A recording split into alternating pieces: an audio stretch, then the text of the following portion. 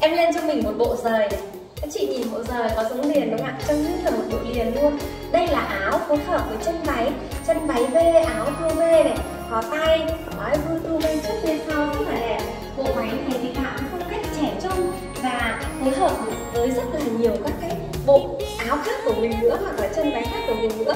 Ở cái bộ rời này thì các chị nhìn thấy rất là ấn tượng, rất là đẹp, nó liền như một bộ luôn. Mà nó che toàn bộ, cái điểm của chị em này ai cũng to có cái thương lực rất là lung linh ở lính lính ở trên sân khấu này. Ai yêu thích cái trang phục này hãy gọi điện liên hệ với bên em để bên em sẽ may vừa cho tất cả các cô nhé. À, với cái màu này thì chúng ta cũng có thể là may liền và may rời được. Em đang mặc là bộ bộ rời và các chị thích may liền cũng được nha. Thích may liền cũng được này. Đấy liền rời đều ok trông cũng như là một bộ à, liền vậy.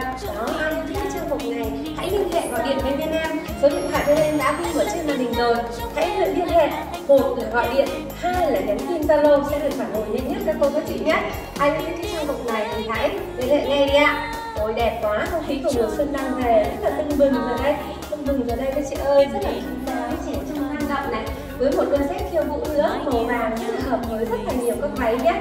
Đây là đôi dép khiêu vũ mà phòng cao cấp Thì ai mà yêu thích điện liên hệ để bên em sẽ đóng được tất cả cô từ 34 cho đến 42 Đó, size 34, 55, 77 đều vừa cho tất cả các thành viên trong đội nhóm nhé Dạ, em quay gần cho các chị xem một bộ váy trung ương rất là đẹp phong rời này.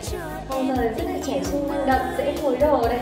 Đó rất là trẻ trung các chị nhé mặc cái bộ này lên tất cả đội nhóm sẽ bừng sáng lung linh ở trên sân khấu các chị các cô nha.